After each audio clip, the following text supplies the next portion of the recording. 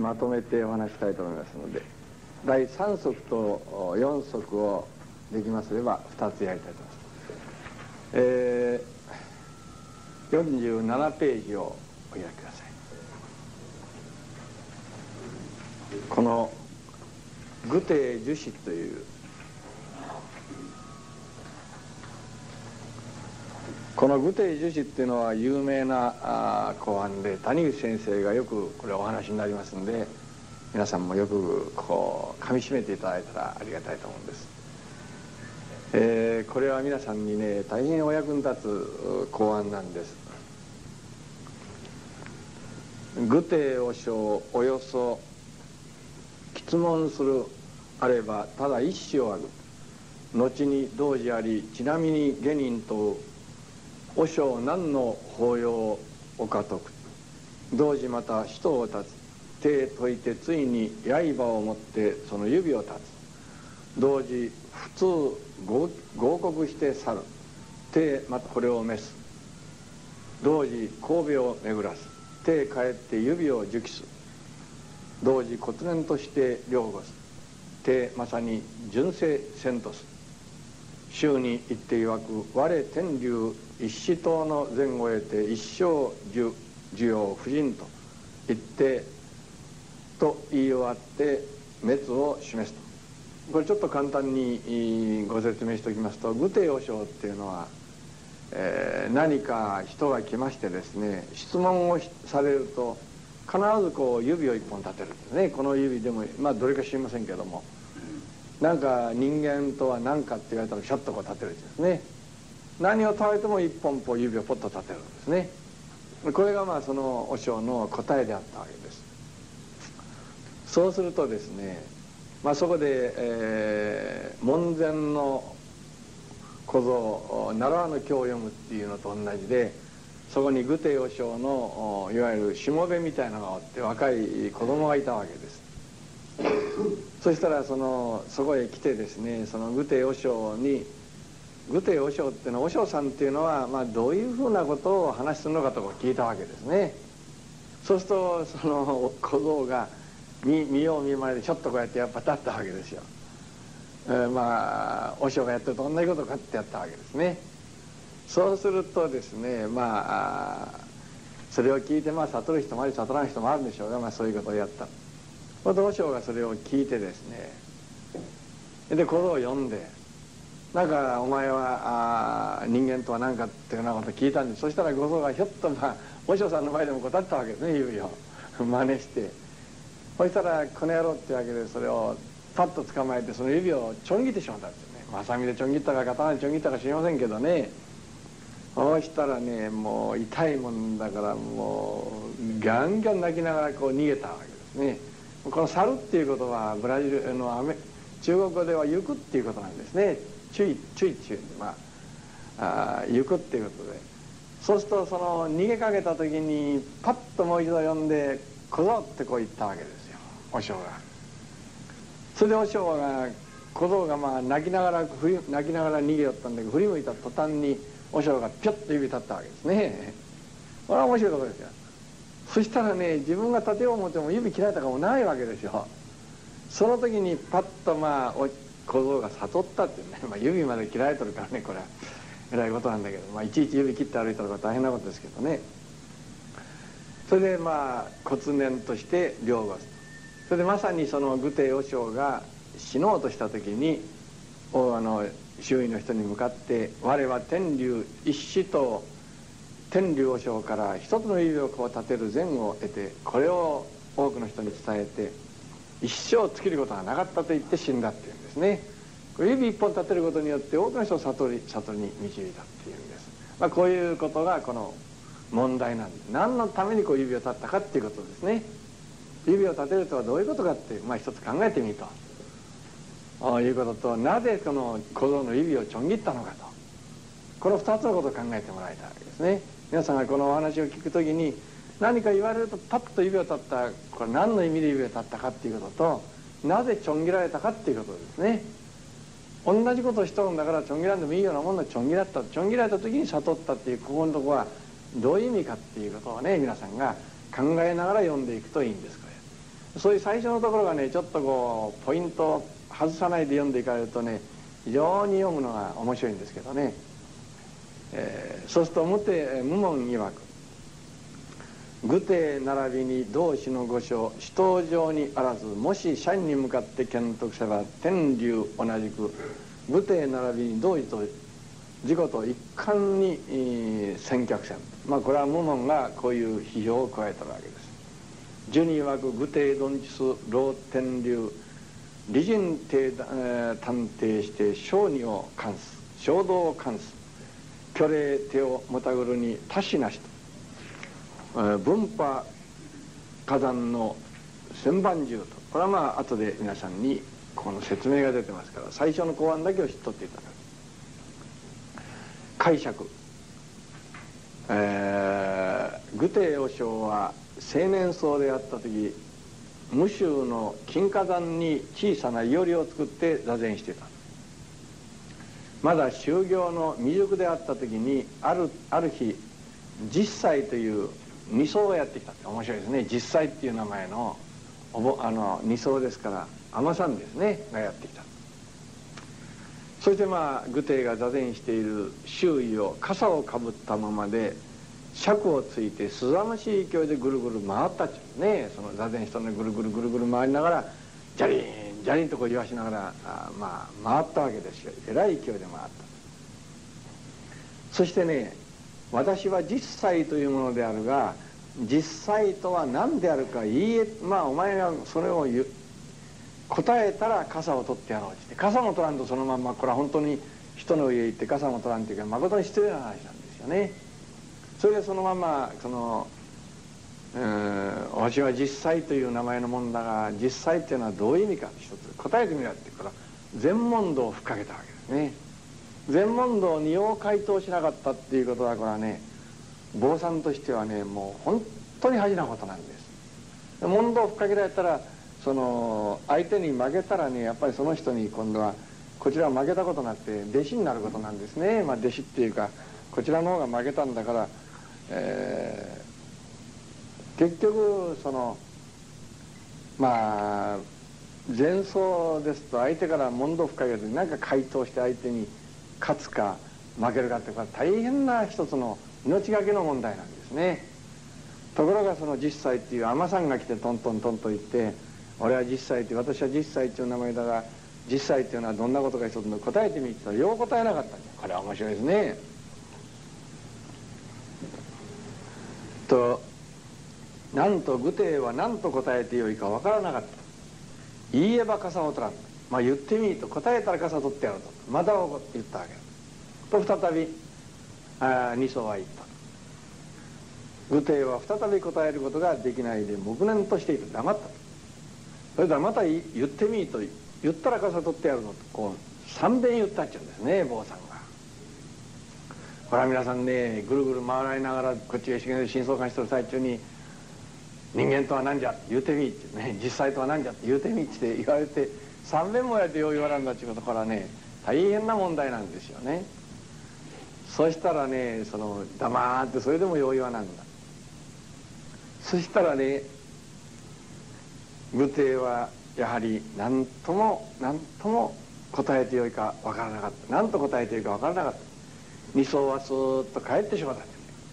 これはもう全然無視されたことなんです。お前はお前のに話すん足らんっちゅうにはねお前なんかと話したって何の役に立たんでスーッと帰ってしまった、えー、帰ろうとした。そうするとその愚帝がもう遅くなるから夜遅いんですからお泊まりになったらどうですかとこう言って愚帝が到達ですね。言った。そうそう言ったらねまたこうやって泊まってやろうってまたまた問答深けてきたわけですね。ところがその空に行ったとうとう愚帝は何と言ってよいか答えることができないので二層は去ってしまったと。愚帝は男上部男の身でありながら二層女の人の坊さんの投げた公安に答えることができない。残念なことであるこんなこんなとこでねもうわしが一緒に座禅組んどってもこんなことつらい女に負けたとこれ大変なことだと。こんな小さな庵の中でいくら座禅組んだってこれは悟ることはできないと。このその小さい案を捨てて修行に出て一つ瞑想になってね偉い人に会うてねその回答をね教わろうと思って、えー、決心しているとこれがまた愉快なんですね。その世の夢に山の神三神が三神が現れて修行に出ていく必要はない。近いうちにこの要領を訪れる肉親の菩薩があるからその肉親の菩薩について教えを受けよというお告げがあったんですねこれはやっぱり神様のお告げな。んですすると10日ばかり過ぎて天竜和尚が愚帝の要領を訪れた。そこで愚帝は二層が来てこういう何を問いを投げかけていったが私はそれをそれに答えることができませんでした。どう答えたらよいでしょうかとお尋ねすると天竜和尚は何も言わず一本の指をで何者かを指し示すように立てたんですね。これがお座りの根本なんですね。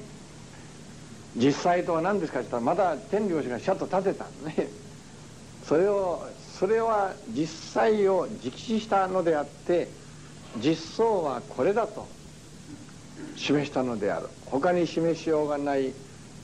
弓術弓の稽古をするとすると弓を引き絞って放とうとする時にその放つ間髪の呼吸がわからない。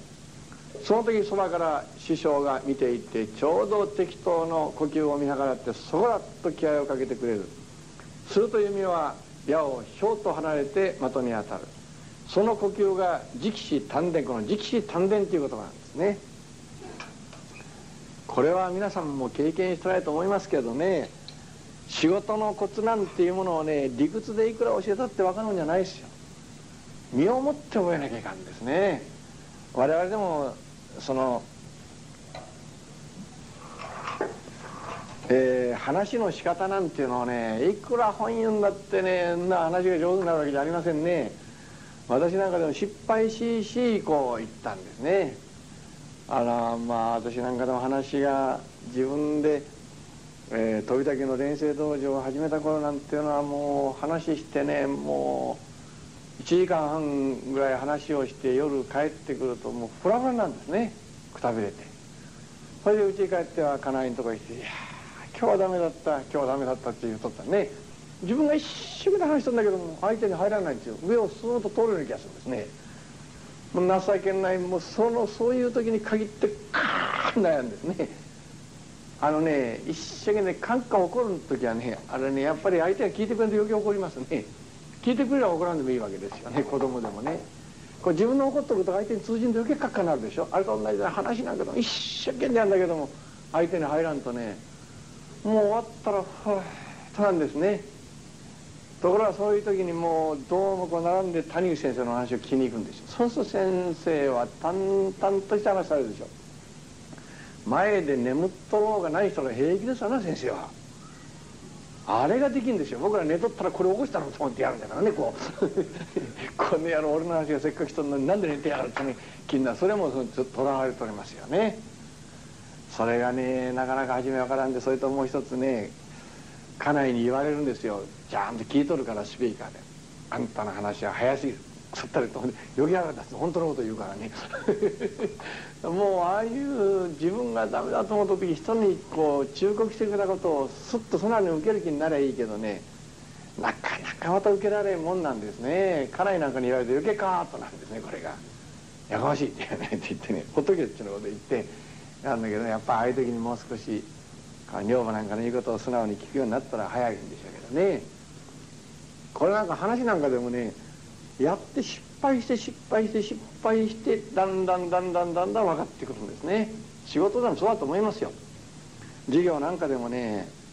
親父がうまいことやったから子供が簡単にできると思ったらそうはいかんですよね親父のやってることをね今日もあの朝のテレビを見ておりましたらね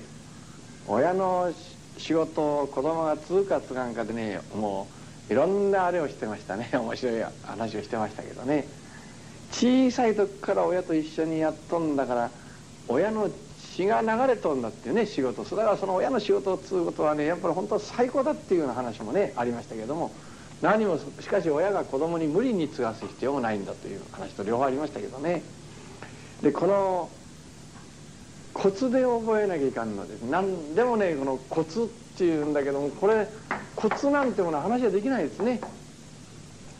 僕はあのよくねあのうちの若い人が話のコツを教えてくれってよく言われるんですよ。僕は自分でも今でも上手だと思ってないですね。ただ思ってませんけどね。ただ人の話聞いてるとねあそこが悪いなっていうの分かるんですね。そこもうちょっと汗ようだなっていうことがよく分かりますそれで私は自分とこにおる連中だけは黙って聞いてましてね。あのあんたの話ねあそこのとここういうふうにこういうふうに言ったらよくなるよって言ってねこう話してね実際に話したのを聞いて言ってやるとあそうですかってこう分かるんですね。話ってのはこういうふうにしたらいいんだよって言ったって分からないですねこれなかなか。ところがね話はねこうしたらいいっていうことをね言ってもね全然な直しきらん人いますよ。何度言ったってね。それはまだねそれを直すだけの力のない人なんですこれ。だからちゃんとね直すだけの力のあるできた時にちょうどいい時にちょうどいいことをパッて言ってやるっていうことが教育でありこのコツなんですね。だからここに書いてありますことでもね実際っていうあのこの具体和尚がねその実際っていうその尼さんが来てぐるぐるぐるぐる回ってですねそれで非常に尺の差ってねどうしても真剣に求めないかんと思ってる求めてね真剣に求めてる時にその来てパッと指を立てられたので分かったわけですよ。普段立てられたって分からないわけですね。だからこういうとこはねそのパッとしたことなんですね。ここに書いてあるその時にねその呼吸をこの皆さん直視丹田っていうことを覚えとってください。これが大事なんですよ。自分の子供を教育する時でもねお店の人を教育する時でもね何かいいことがあったらねうまいことやったらそれだあんた今の素晴らしいってこう褒めてやるね。そうすると非常にその人が伸びるんですよ。この直視。直視丹田って言うんですね。えー、あったでしょ？あの一番先に禅とは示線に、えー、丹田ですからもう理屈じゃないんですね。パッとこうこう途中回り道しないでスパッと伝えるんですね直視丹田。そうだという直視が一本の指を立つである。弓でも花でも習字でも茶道でも音楽でも何でも同じことである。そこだそこだ。とこの一語に尽きるそのそこだを形に表現したのがあの立てられたる一本の指である。だから具体がこの世を去ろうとした時に皆の者に向かって向かって「我天竜一子党の前後へて一生需要を作るところはなし」と言ったというんである。でこの具体和尚にはねこの直視丹田のね指を一本立てることによってね相手をね悟らすだけのね一つの力があったんですね。パッとこうねやっぱりえー、子供でもねあのおもちゃ持って遊んでまだ泥いじりなんかしてるような子供にいくら上品なこと言っても分かりませんね。これ泥いじりが一番好きなんだから。その時は泥で遊ばしといたらいいんですよ。でそれが済んでやっぱりある程度のこう高くなってくるとそういうことを言っても分かると同じようにですね商売でもね何でもね事業でもねそのここだっていうことがねなかなか分かんないですね。お習字なんかやったってこの字を書きましてもねいくら先生から教えてもらったってその通り書けるもんじゃないですね。これは。書けるもんじゃないです。やっぱり練習していって練習してるうちにあこれだっていう自分の手で分かってくるわけですね。まああ今日はちょうど、あの皆さんからお祝いもいただいたりしましたのでなんかみんなからねあの言われましてねあのなんかあのいただきっぱなしじゃなくなんか俺皆さんに記念にのを差し上げたいっていうことを考えたんですけどみんな社長さん級ですからね。品物のつまらんもの持ってたって誰も喜びにならないからっちゅうんで特殊さ一つ字を書かんかって言われましてね僕はもう他のことは劣等感ないんだけど字だけは劣等感持ってます。どう申し訳ないんだけども。小学校の先生の書いたような字しかよう書かんもんですからね。そして、えー、まあ生まれて初めてこんなの書いて、えー、こう皆さんに今日はもらっていただいたんです。これもねあの STS の山中さんっていうねあのアイディア株式会社の社長さんが特にこれをほとんど原価で作っていただいてそうでなかったら大変なあれになるんですけども。おかげさまで社長さんが作ってくださって私が中に字を書いたんで。誠にこう 小学校の生徒のような字ですけどまあこれで、えー、ご勘弁いただきましてもうちょっと上手になったらまた差し上げますから。えー、その上手に書こうと思うと書けるのはですねもう下手下手でええと思ってやけくそで書いたら もう書くんですけど。いや昨日もね僕はもう東京であの STS あった時にこれをまたみんなの前でこう出したもんですからねあのいやーよかったなって言っとったらあの私がね字をね少しまあ時々練習しとんですけどねその練習するようになった動機っていうのはなぜかっていうとあの森永の副社長が東京の STS に入ったんですこれは皆さんが何かそういう関係がありましたらいつでもご紹介いたしますけどね森永の副社長さんが入ったんです。これは立派な方で伊能って言いましてね非常に立派な方なんですよ。この方が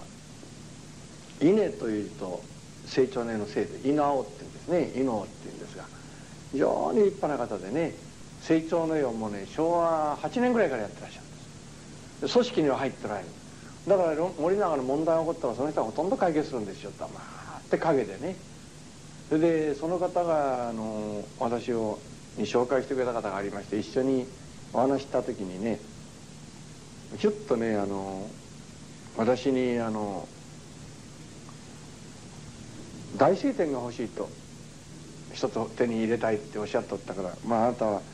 なんか、えー、そういう関係あるでしょうかって言われたもんですから私が「ああ大聖典なら私2つ持ってますから1つあげましょう」って言ってね。ちょっと傷んでますけど1つはいいんだけど、まあ、1つは僕は一緒に持っておりたいから1つあげましょうって言ってあげたんですよ。そしたら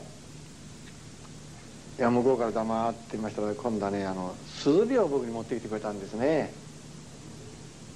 あととんでもない人たちは断ったんです。もう字だけはダメだからもう絶対いらんちゅって僕が断ってた。なんとその鈴が後で聞いてみたらものすごいもんだだそうですよ、まあ、とにかくまあ時価にすると100万円ぐらいするんだ。そうですね。そんなの持ってきてくれたんですよ。あの徳井さんどうも金なんかあげても喜ばんらしいから、まあ、これあげたらって言って私は字学館がいらんちって断ったら そしたら字だけは絶対ダメだからもういらんちって断ったら下手だからしたらその下手なのはいいんだって 褒めようもあるもんでね人間ってのはいろんなこと言って下手だからいいんだからやんなさいって言うんですね上手だったらもう進めはへんちゅうんですよ。あんなこと言われたらも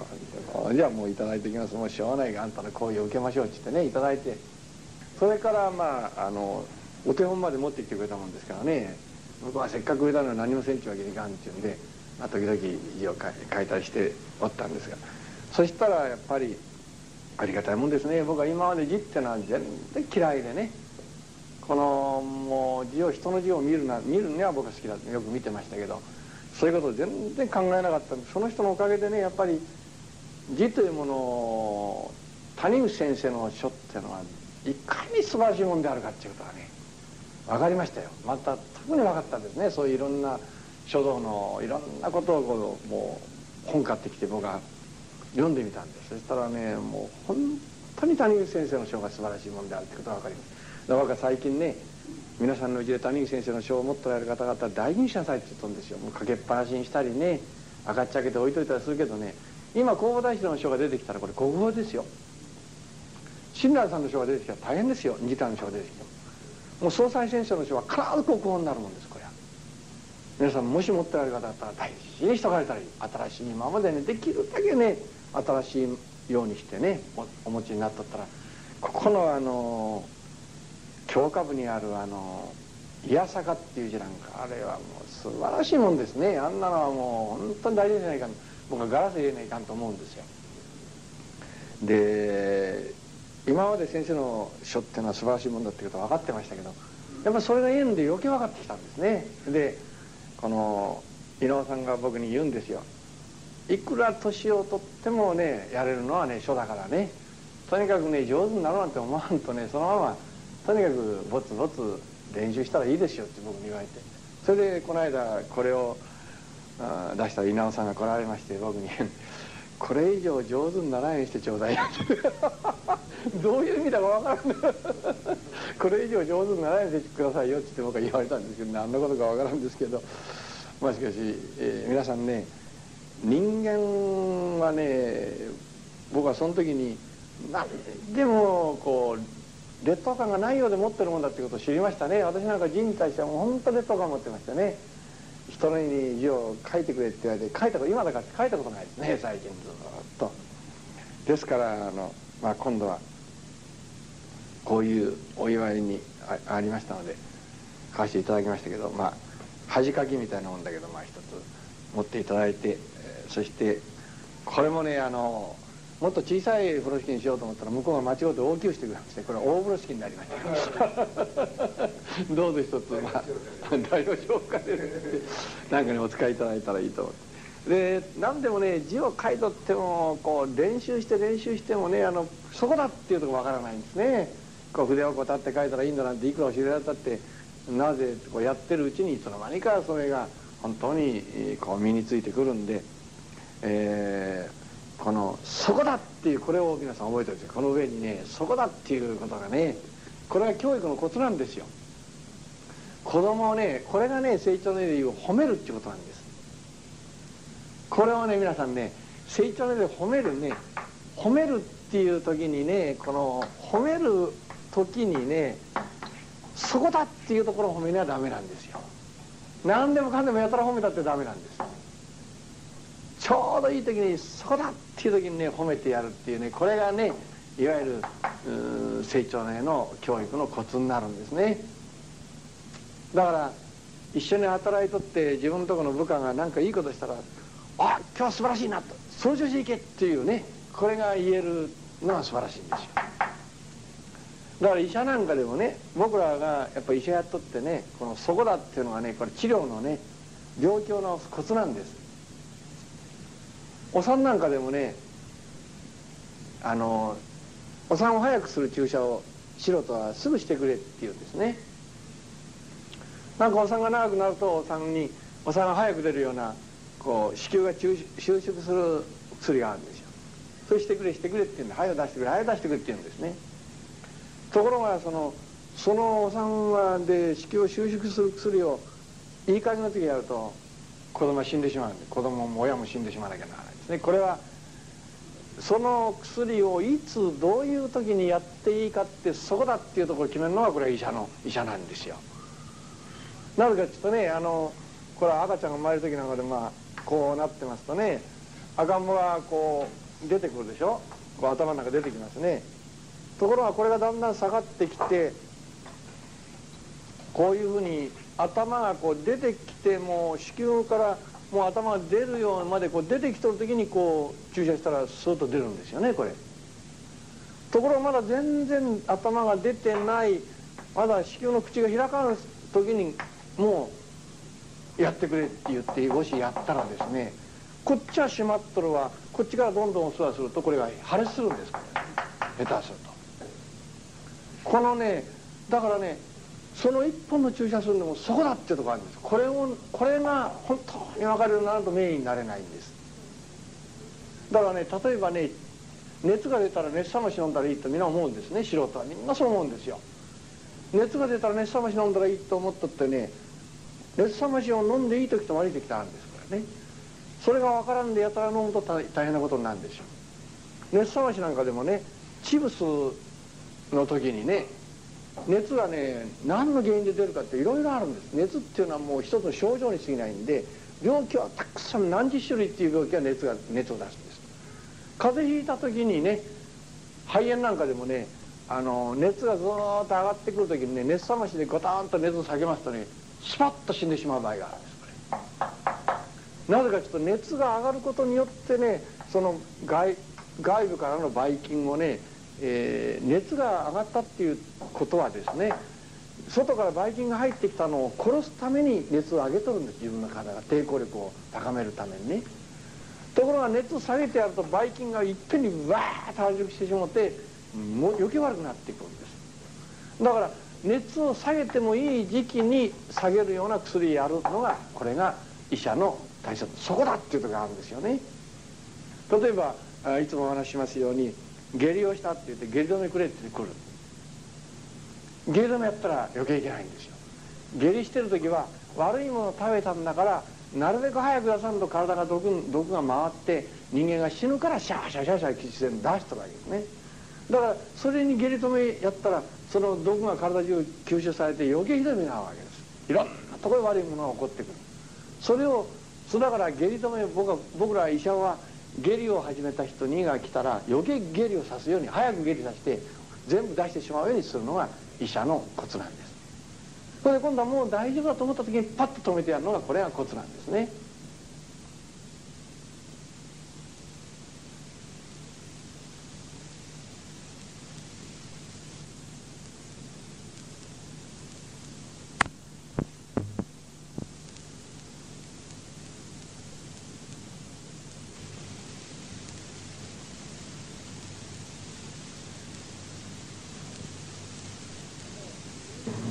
だからそういうそこだっていうことはねこれはねお産なんか特にそうなんですお産はね23分で命がお互い変わって子供の命が変わったりしますんでね。僕はもううちの先生がいつも言ってられたのは手術はね、えー、本を見ながらでも腹切れるって言うんです。ところがお産なんか勝負だからね1分2分の勝負だから、えー、お産だけは普段から勉強して練習してるのがダメだって言われてよくやりましたですけどね。本当にこういうね機械をかけるにしても何するんでもそこだってもなんですね。だからそれをねあの皆さんでもね、えー、企業なんかにおいてそこだっていうことをねこう部下に教える。そのそこだっていうのはねなんかいいことした時にこれだよって言って、ね、褒めてやるとね非常に本人が分かるんです。話なんかでもねああいうとこが悪かったっていうね君の今日の話ああいうとこがとても良かったなって言ってやるとね自信ができるんですね。これがねいわゆる褒めるっていうこととそこだってねいわゆるね変なとこ褒めてごらんかえって気持ち悪いから。太った女の人見て痩せてますなーって言ったら大概怒ってまうね。そうでしょ？適当でない褒め方してそこだっていうとこね。だから女の人でもね褒める時ねこのね相手が一番自分は美しいと思う自分は一番素晴らしいと思ったとこパッと褒めてください。向こうはポーッとしますよ、これは変な話になったけどね。そうでないもう足が太って困ってるっちゅう人に「あんた足がスマートやな」なんて言ったらもう怒り出すねこれ。だからそのコツがあるんですね。何でも褒めるにしてもだからこの「そこだ」っていうことはねこのこの先生はそこだっていうことを簡単に書いたんだけどもこれは僕はもうあらゆる宗教でもね何でもコツだと思うんです。地方講師がね人の個人指導する時もこれなんです。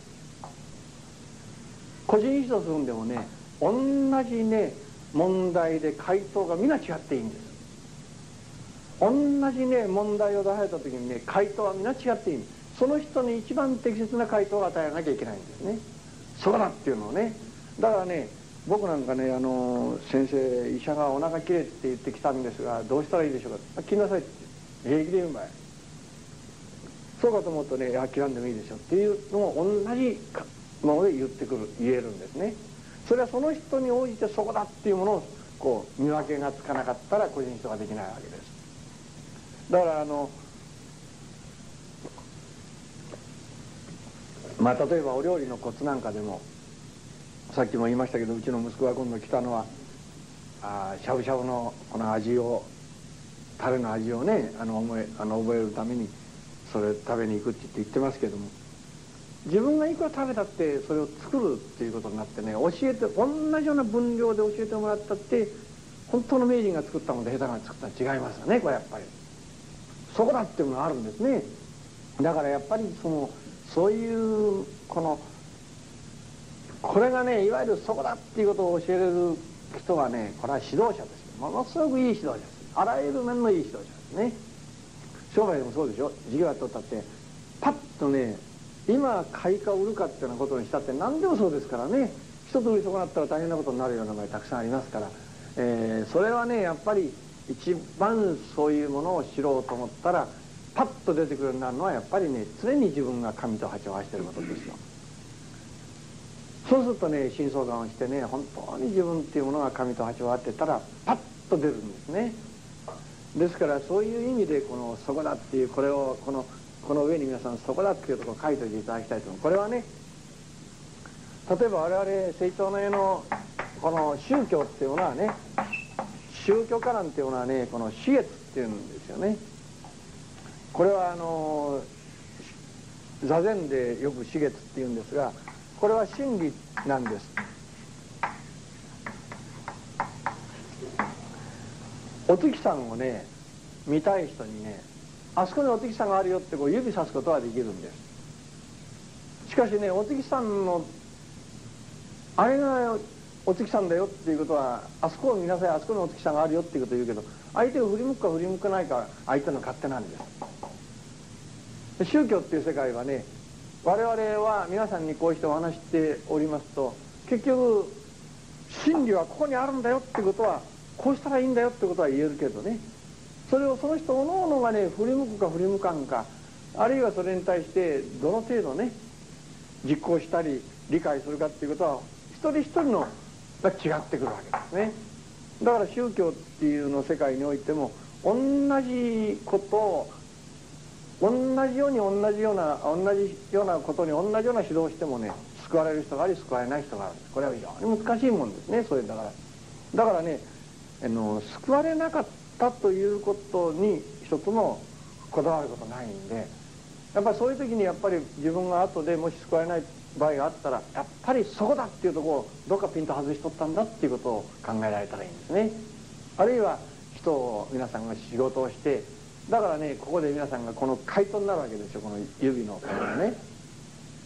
同じことを言ってもね言う人によってね違った回答が結果が出るっていうことはね一番のねそこだっていうところを掴んでなかったらいい回答になるかい悪い、えー、結果の出ない回答になるかっていうことなんねこれはだからあ先生がいつもおっしゃるように人事書三層っていうものはこの3つが整わなかったらそこっていうのが出てこないわけですよ。その人にその時そのところっていうものがピシッと応じた時にそこだっていうのが出てくるわけですね。平岡初江先生っていうあの先生はまあお話が素晴らしかったですね。僕あの人のお話はもう本当に魅力的な何とも言えないものを私はあの人の話聞いてるとね何て言うんですかね教えるっていうんじゃなくてね演題にとってねあのなあ皆さんってこうやるとねみんながね自分がこう肩叩かれたような気がするんですね。こう一体になってんですねそれが。それであの平岡さんあれだけ話のいいそしてしかも素晴らしい先生が僕にこういうことを言ったんですよね。徳久さん我々が人間は神の子だって言うてもねあんまり相手に響かんけどね谷口先生が人間は神の子だ人みんな本当のような顔するとえらい違うがどういうわけだろうかってこうなんですね皆さん。同じ人間神の子でもね言う人によってだいぶ違うんですねこれは。違いますよそれは。神の子だって言ったってね聞いとるが何言うとるっていう人もあるしね先生には人間は神の子ですよって言われたら本当だな。と思うしねどういうなぜ違うんでしょうかなって僕に聞かれたことあるんですよ。そら言う人のね深さだよって私が言ったことあるんですね。どれだけ人間神の子信じとるか信じとらんかだよ。僕が言ってお互いに話し合ってそうやなもっと信じないかんなって言って、まあ、平岡さんとね2人で話したことあるんだけどもこれはやっぱりねこの相手に神の子だっていうことを教えるのはやっぱりね時があるんですよ時が。だから皆さんねこれ面白いんですけどね私は最近ねこの人に成長の伝える時でもねあんまり焦らんことにしたんですよ。じーっと待っとる。んですほら面白いですね。あんまり早を直さん方がいい。ねごくたくれた時はあんまり早をね焦って直そうとするとねこの3つをね無理するんです。そうだっていうとこ行かないうちに指導しようとするでしょ。あとね卵のねがまだねひよこに帰ったら先に割るようなもんですよ。これは孵化しない。です孵化ひよこが出てこない。でやっぱりねその人がねこのピシャッとねそのひよこになって出るには時が必要だね。それでやっぱりそのパッとまあ先生はあよく書いてらっしゃるように外から中からコンコンとこう記憶がつついたら外から親が割ってやるっていうね。まあ今頃まあ自分で勝手に出てきますけど。そういうそのそこだっていうところをねこれを皆さんがいろんな企業にこう、うん、体験されていいですよ。だから社長がやったらうまくいくのに常務がやったらうまくいくのたくさんあるでしょ。人間ってそんなもんですよ。僕らはね個人葬する時でもねあんたは神の子だからもう素晴らしいんですよ。もう心配しなくていいですよっていうことあるあるかと思うとねあんた間違ってるよ。ピャッという時もあるんですから。大概私は間違ったってことをあんたの心が間違ってるとか心の思い方が違うとるってことを言わない主義なんですけどね。やっぱり言わにはいかん時ありますなこれは。その人によってね。ピッと言ってあげてね救われましたっていう人はあるしね。ピッと言ってやってね恨んで帰る人があるしね。だからこれはね同じ真理でもねもうピッとその時にこう弓なんかでもこうやってって話す呼吸なんていうのは何秒でどうなんて言ったって分かりませんね。育ってね書く時にこうやって書きゃいいなんて、ね、それが分からないように誰でも明治になりますよ。分からんから教えてもらったってねお茶でも何でもそうね例えばあの骨董品でもそうですねあの壺なんか持ってきて僕ら見てみたらまあどっかな魚な丼鉢みたいなのがねあれが何百万なんでしとるでしょやっぱりそれはそのそれをどこがいいかっていうのを見るね目がなきゃいけないわけで本当にこのそういうふうなもののなんかでもこれがいいか悪いかなんて言ってねくら説明されたってわからないですよねこれは分かったもんでなきゃわからない。だからその直視丹田さっき言ったね直視丹田もうこれはね皆さんねやっぱりこのここに書いてある指を一本出すんでもそこだっていう時に出さないかんないですよこれは。ただやたら出したってね誰も悟らへんですね。このここがよく分かってその次が分かるんですからね。このところは皆さんね今長く説明したいですけど今日は一つこの「そこだ」っていうのを覚えてください。これをよくこう持続されてね子供教育する時でも夫婦の問題にしても親子関係の問題でもね夫婦の争いの問題でも人間関係でもみんなそのここなんです。自動車の運転を教えるにしたってねみんなここなんですね。パッとその一つの一番いい時にいいように教えなきゃならないんです。さてそれでその次行きましょう。そうするとねその次に禅宗の古典壁眼録の第19則にもこの愚定死闘禅というのがある。その炊事炊事というのは公安の解き方のあらかじめなる心の用意を炊事したもんだ。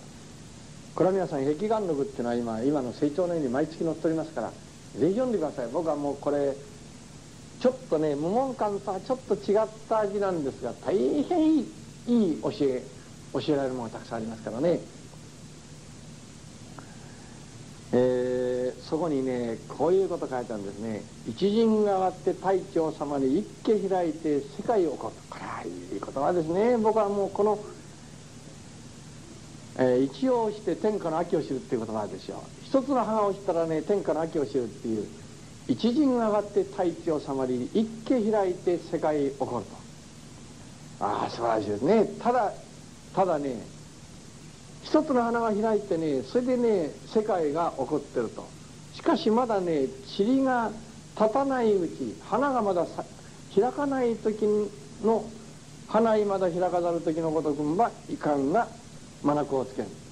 花が開いたら分かるけど開かんうちはそれじゃどうするかっていうことですねこれ。家に言う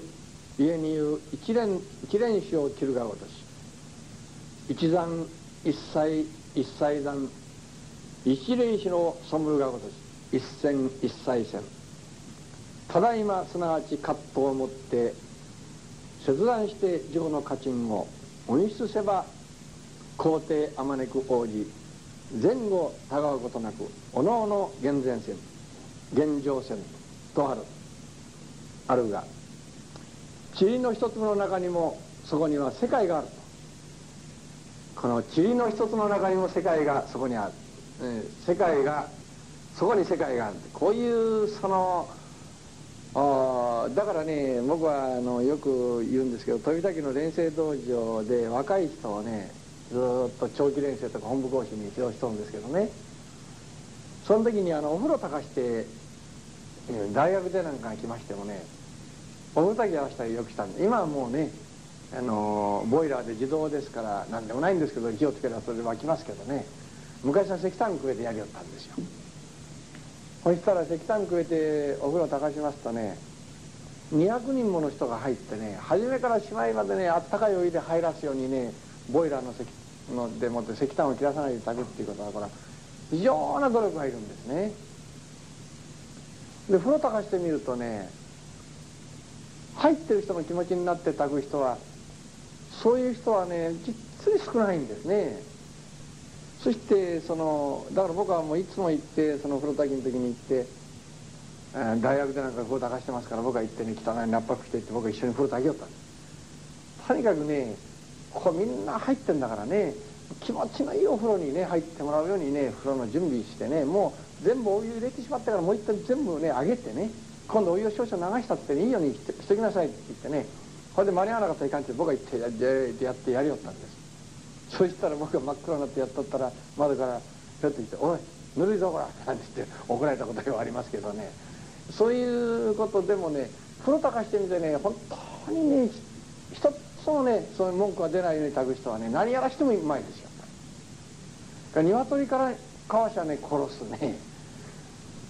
もうヤギかわしは殺すっていうようなことが何やってもダメですねやっぱそういうのは。一つのことをねだから一時が万事ってよく言いますけどね。一つのことを抜け取っても他のことに非常に優れた人もありますけどね。やっぱりね本当にねあの達人っていうのはね思い前奏に及ばざるを迷いっていうっていうねあの言葉と同じように前奏にね思いが常にこう達してなかったらダメですね。思いが前奏全ての面にこう行き渡ってものを考えていく人でなかったらダメですね。そうしないと人の上に立てない。であの僕はこういう意味では谷口先生がいろんなことを僕はもうブラジル行ったり先生のお供しとって谷口先生ほど全体のことを常に考えて、えー、こう処置される方はないですね。非常に私は見とって。だから先生が何かパッと言われた時ことの中でなんか先生変なこと言われるなっていうもうちょっとこうしていただいたらいいのになっていうこと僕らはよくあるんです。そういう時ね。しかし後で考えてみると非常にこの全体っていうものを考えておっしゃっておられるんであってね。一部分でおっしゃっておられないんですね。だからその一つのことは一部分には非常に具合の悪いようなことだけど全体にはそれが非常に生きてくる一つのことをおっしゃるわけです。これやっぱりねこのこれが大切なんですよ。皆さんが何かこう考えられた時にねここにこう、えー、今言ったようにですねもう本当に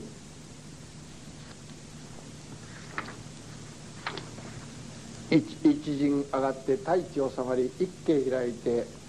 世界を起こるんですね。だからこの時ですねその次に書いてあるその中に世界全世界全一つの塵の中にですね塵の粒一つの中にそこに世界がある。その中に全世界全宇宙がある。一本の指の立ったのを見た時に世界が立っているのを見なければならない。これ杉の木だね。これなんです。パッとこう具体が一本の指立てて見せた時に指が立ったんじゃないですね。世界が立ってるんだと。またそれが見えるようでなければならない。だからこれはね1を聞いて10を知るってよくありましょだから皆さんでもね部下使っとってねなんか一つのことを教えたらそれがね次々とねそのことがうまくいく人と何ぼ教えてもうまくいかん人とありますね。手取り足取り教えていってもなかなかうまくやってくれない人とあるわけです。でねその時に一つの花が開いているその花はどんなに小さく見えようともそこに宇宙の生命が先入れてる。こんなもね。だから私は谷口先生のお言葉で非常にね若い時にね先生の「美しく生きる」って本がありますね。あの序文の中に、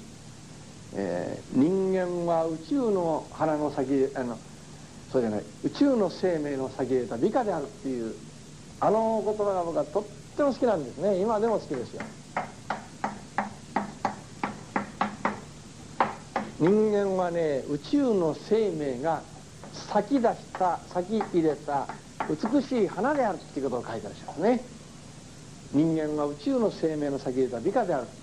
ただ咲いてるだけで美しいんだ。人間は生きてるだけで美しいんだっていうことね。だからただ人間は美しき生きることを考えればいいんだっていうことを書いてらっしゃるんですね。僕はもうこれを読んだ時ねなんかね自分が美しい宇宙の命が咲き入れた美しい花であるっていうね、えー、皆さんねこういう気持ちになったら人生っていうのはねなんか非常に楽しくなりますね。どうしてこんなつまらんところに生まれたんだろうなんて思ってたんじゃダメで。宇宙の生命が咲き入れた美化であると。一人一人が美しいね。生きてるだけでね素晴らしい花なんですよ。宇宙のね。でもこういう他人先生のお言葉なんていうのはこれはまあちょっとね見られないですね。よその宗教なんかではね。素晴らしいことですよ。だからそこにね書いてありましょう。そこにその花はどんなに小さく見えようともそこに宇宙の生命が咲き出ている。それが見えなければならない根高教祖が大根にも机にもお礼を言う心にならねばならん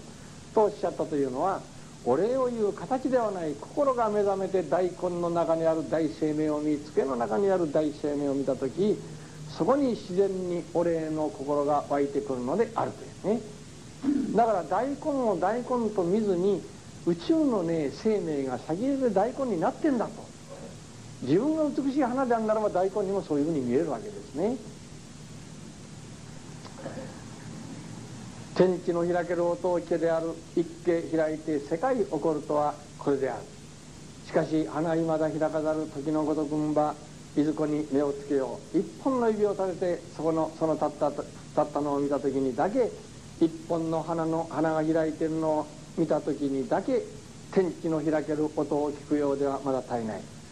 それでは病気が治った時だけ神様はありがたいと思って病気が治らない時にも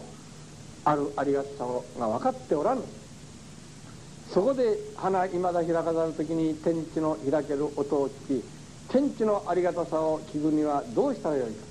それが分からないようでは実際という二層は我らのいおりには傘を取りわらじを抜かないだろうしね。こうなってくるとなかなか難しいね。あの傘取ってもらうだけでも 難しいね ことになるわけです。ですからこの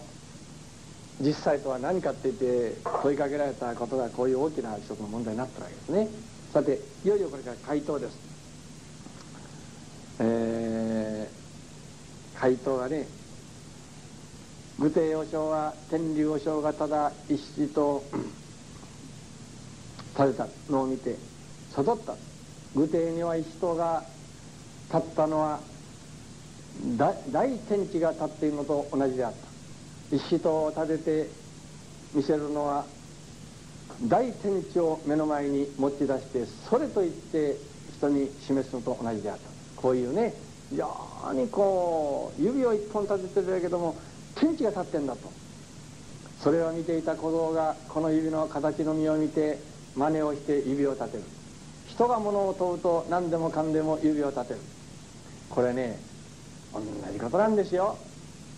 成長の絵の人が人間神の子ですよ。って言ってねみんなね 言うとのと同じことなんですよ。本当にね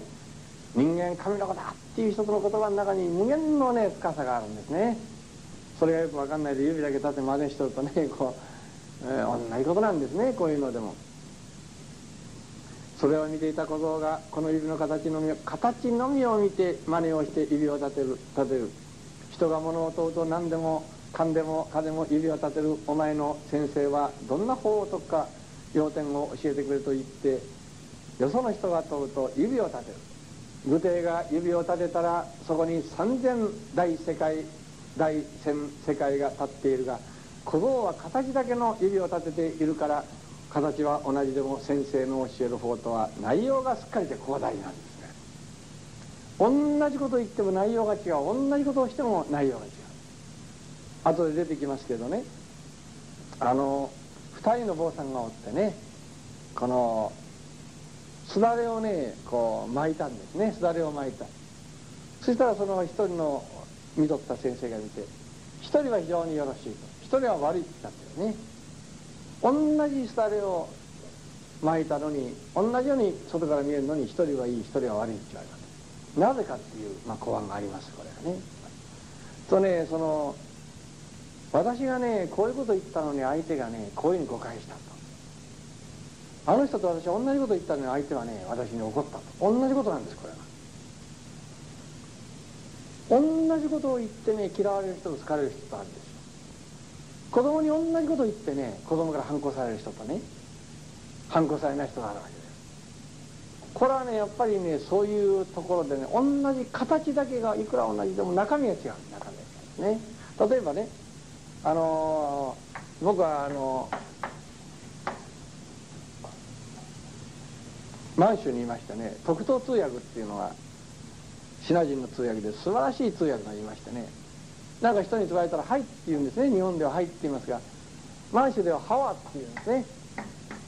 なんか言われたら「ハワ」ってよろしいっていうこと。ですイエスですね。英語で言うイエスです。ハワっていうこう行きましょうか。はいはいっていう時ハワってこう言いますね。これが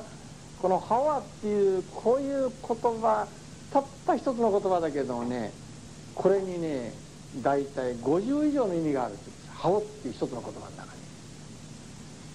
に。同じハオでもねそれ教えられんって言うんですよ。僕に言うんですね。そうかねそんなに違うのかねって言って聞いてみりゃそうですね。僕らでも誰か人に何かしなさいよって「はい」ってなったね「はい」ってなったね「はい」違いますかねやっぱり。いやいや「はい」って言うと人もありますよね。同じように言ったからって私だって「はい」って返事したのに怒られたっていう人もあるわねそら。いやいや「はい」って言う人もありますよ。我々のご主人が酒飲んで帰ったのに私は気持ちよく迎えたのにって言うけども顔だけにこって渡ってそったりかと思ってりゃ何にもならんわねこりゃ。ありますよそういうのもね